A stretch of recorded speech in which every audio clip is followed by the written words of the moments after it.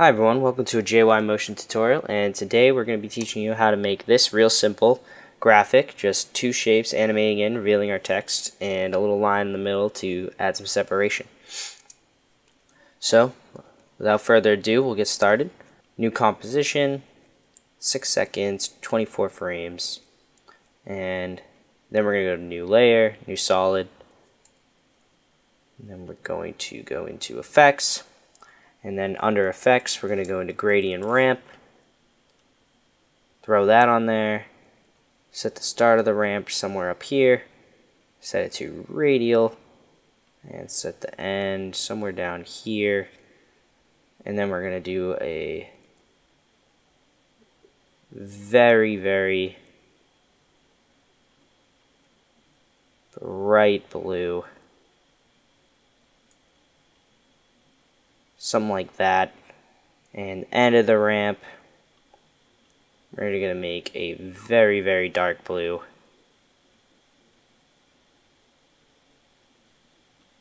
Something like that. There we go.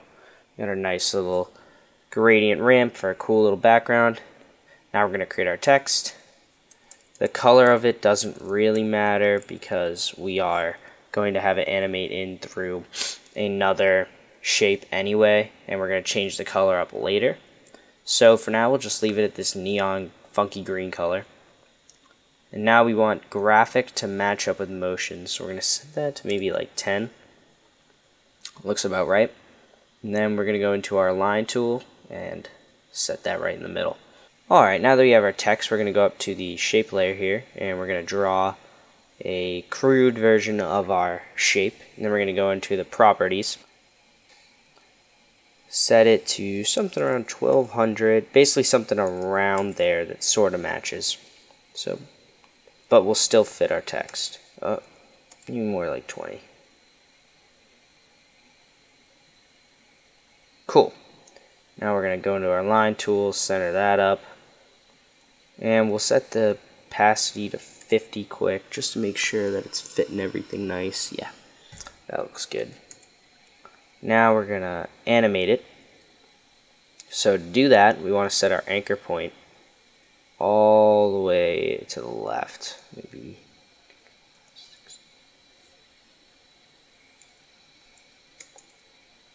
Yeah, and then we're going to realign it. For the bottom one, which we now are going to duplicate this top layer, hold shift and the down button to move it Check the opacity, see if it fits. Yep, looks nice. And then I'm going to take the anchor point on this one and set it to the total opposite side.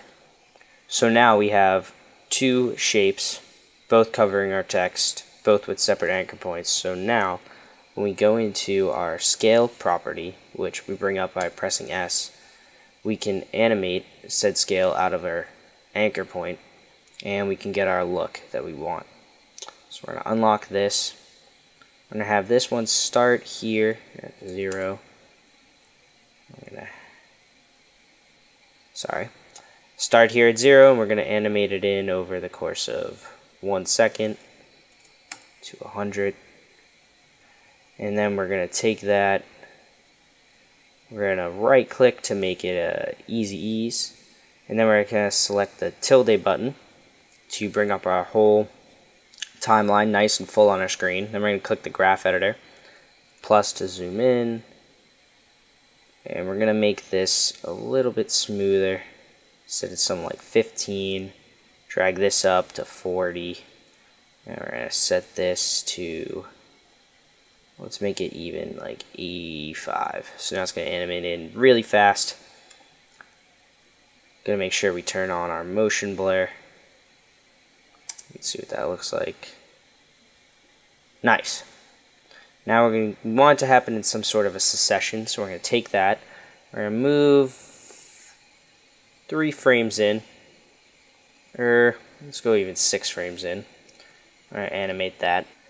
Okay, now that we have our two animated in squares, we're going to add our third square. So we're going to create another new shape layer by going up to new shape layer.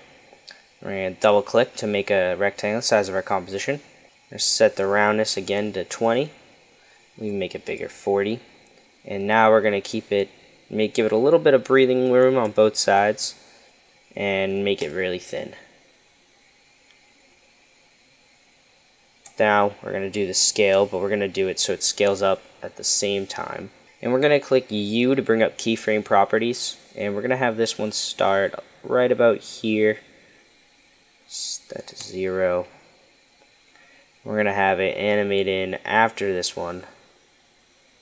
Set it to 100. We're going to easy ease them. Bring up our graph editor. Double click it this time because why not? Set this to 15 and set incoming to 85. And now we have something a little bit more like this. So now what we got to do is we got to reveal our text. So we're going to rename this to rename this to line. We're going to lock it because we don't want to worry about that anymore. We're going to rename this to bottom. And we're going to rename this to top. Alright, so we're going to unlock line and we're going to bring it down here so we don't mess with it. And then we're going to lock it. And then we're going to bring it down bottom and we're going to lock that too. Now we're going to take our two motion graphic layers and we're going to move them up. And we're going to disperse them. So this one's going to reveal motion and this one's going to reveal graphic. So we're going to set bottom to alpha matte bottom alpha matte motion graphic and we're going to have this set to alpha matte this one. And to make this simpler we're going to rename this to graphic. And we're going to rename this to motion. We're going to rename this graphic matte and we're going to rename this to motion matte cool so now we have this revealing our text. Can play it out for you. Sweet. Now what we're going to do is we're going to take this layer. We're going to select the color.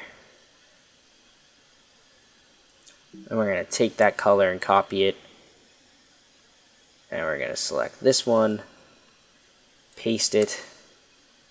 And now we got something pretty sweet.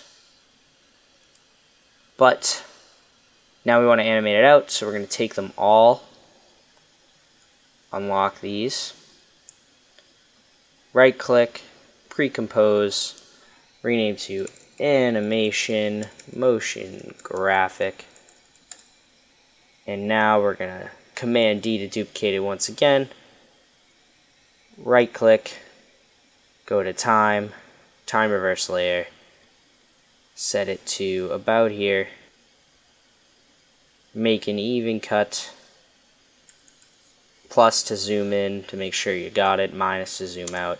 So when we play it back we have it evenly animating in and then when it ends it evenly animates out. And because we only pre-compose that first part we can very easily change this background by just editing the gradient ramp and then going into our project file and editing our colors. So that's it for today and if you like what you saw make sure to subscribe below and check out my channel for future tutorials and future updates. Thanks for watching.